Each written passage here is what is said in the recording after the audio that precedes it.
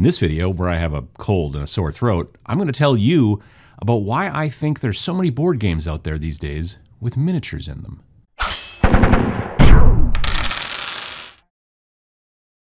Just a starting note, I'm going to try my darndest to not sniffle and snort and leak during this video, but you may want to turn on closed captioning and down the volume. You know, depends on what your threshold for ick is. So I've talked about gateway games a number of times on this channel if you want to watch one of those.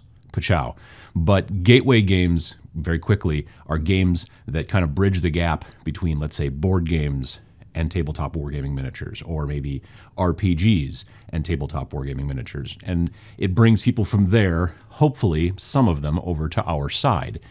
But if you've been paying attention to the gaming news, um, just information from different big publishers and things like that, or the Kickstarters that have been coming fast and furious over the last several years in the tabletop area, you've maybe noticed a bunch of games that you might think, well, are those gateway games? right up front, not every board game that has miniatures in it is a gateway game.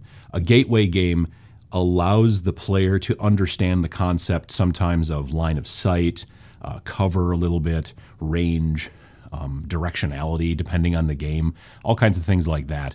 And like I said, there's a lot of them out there, but there's also these days more and more big board games, big expensive box games that come with a ton, especially if you get in on the Kickstarter and the you know the stretch goals really start to add up. They will come with a ton of plastic. And I've had people ask me, they're like, "Well, so would this be a good game to be like to get my friends into wargaming because it's got all these miniatures?" And a lot of times you have to sit down and look at the map, look at the board, look at the rules, and that can help you kind of make the differentiation yourself. Here's kind of an easy one. Axis and Allies is not a miniatures game. It's a board game but it has miniature boats, miniature soldiers, miniature tanks, and stuff like that in there. But they're basically just fancier markers to show that you're moving tanks from France to Germany or whatever. And it's usually these types of games, and a lot of them are from companies like Cool Mini or Not and stuff like that. It's a big map, which I believe sometimes in in board gaming parlance is called area control, where you're controlling a country or a region those little plastic Vikings or tanks or space people or whatever are just a marker to say we're moving a certain amount of Vikings from Sweden to Norway. And that's just so you can keep track of it on the board. And sometimes they're even bigger and you have really fancy looking ones. But for the most part, the, the plastic models that come with your average board game these days, your big ones, Scythe, uh, like I said, Blood Rage, Rising Sun, a lot of those types of games, they're not of the same quality that you and I are used to from playing tabletop wargaming miniature stuff.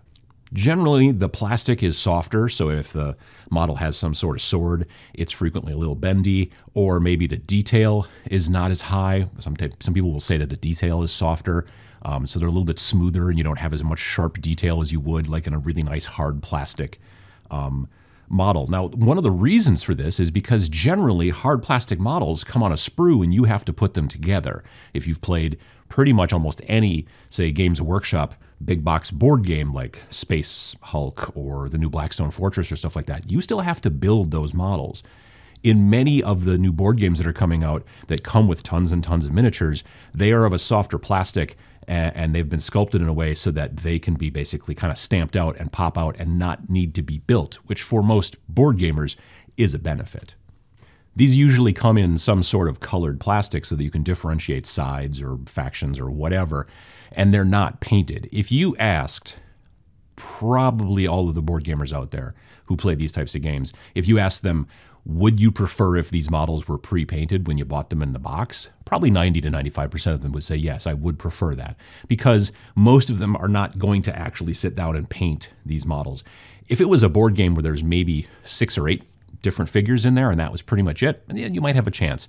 Um, but with the amount of models that come in a lot of these big box games now, especially because of the Kickstarters and all the add-ons, most of these models are never going to get painted. Now this could be a good benefit for you, the either beginning painter who's looking to find more pieces to practice on. So you talk to your friend and say, hey, look, I'll paint this whole board game for you and I'll do it kind of quick, but it'll look better than just the bare plastic and the different colors and stuff like that. And they'll be like, yeah, that's cool. Or maybe, you know, they're going to pay you or they're going to work on your car or there's some sort of barter or whatever the deal is going to happen. But it gives you the ability to work on these models, kind of crank through them sort of quick, even if it's just the very simple kind of like some washes, some detail, a little bit of dry brushing. Sam, one of his first video he ever did on this channel was was painting um, Zombicide models. Now, those Zombicide, in my opinion, is an actual gateway game, but the process for painting the models quickly is pretty much the same.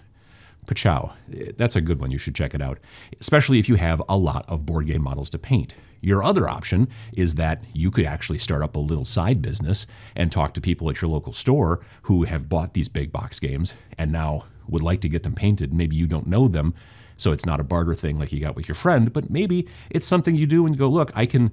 You, you know, you know how many models are in Blood Rage, and then you can just straight up say it's going to cost this much for me to paint your Blood Rage.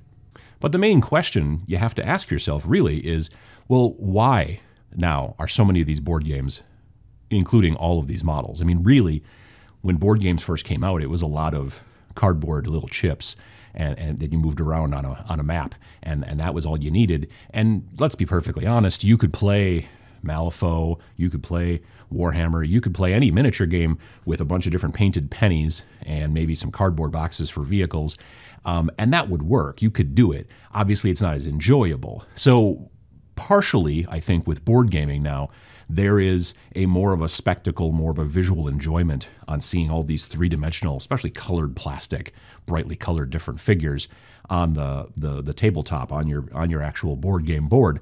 And if you get somebody to paint them, or if you paint them yourself, or something like that, then that even increases it more. So that kind of stuff really helps to trigger people's kind of lizard brain and get them a little bit more interested in a board game that maybe they wouldn't be as interested in if it was just cardboard chips and uh, and maybe some dice. The other big deal, of course, though, is that the manufacturing, especially in this type of slightly softer plastic, uh, you know, for these these miniatures, that type of manufacturing has gotten greatly cheaper than it used to be.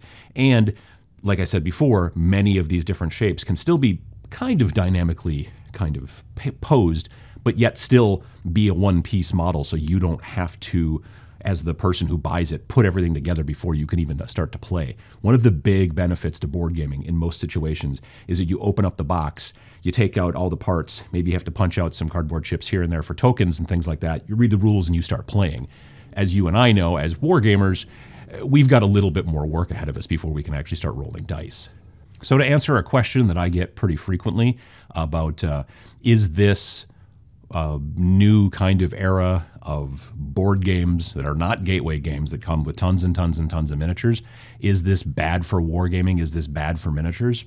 I would say no, it is certainly not. Now, is it good? Is it beneficial? Well, maybe a little bit, because maybe if you are playing what is just a straight up board game, I am moving Vikings to France or whatever, you're not worried about range and, and cover and stuff like that. It's just a placeholder still playing with these cool plastic miniatures, even though they may have a bendy sword and not very highly detailed uh, chainmail or whatever, can still, I think, get some people, not everybody, but get some people interested a little bit more in the actual idea of playing with miniatures. And they may just start painting the miniatures that they have in their board games and, and loving to do that. And that may be where it stops. And that's great too, don't get me wrong, because still, even just painting these big box games is still got all of the meditative, stress relieving, other kind of benefits that I think that tabletop painting and sitting there in your basement or wherever your hobby room is can give you. Um, but maybe, just maybe, it's going to get some of these people to start looking towards the gateway games and then after that, who knows? Maybe we end up with a few more board gamers in our midst.